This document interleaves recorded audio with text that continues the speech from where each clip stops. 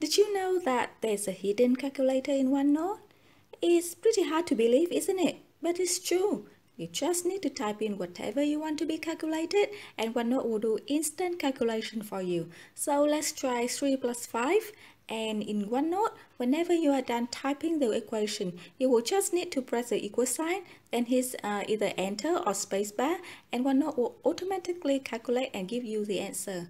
So 3 plus 5 equal, enter, and the answer is 8. So let's try another equation. 21 multiplied by 30 and for OneNote calculation, we use the same syntax as Excel. So if you want to multiply, you would need to use the asterisk key. And if you want to divide, then hit the slash key.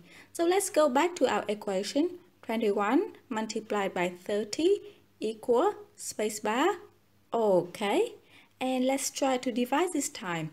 391 divided by 35 equal enter okay OneNote can also handle complex calculation. You just need to put it into brackets. So let's say uh, open bracket 3465 multiplied by 4 close bracket divided by uh, open bracket again 391 minus 34 close bracket equal spacebar also okay. And for exponential functions, you can use the caret key, which is this key here.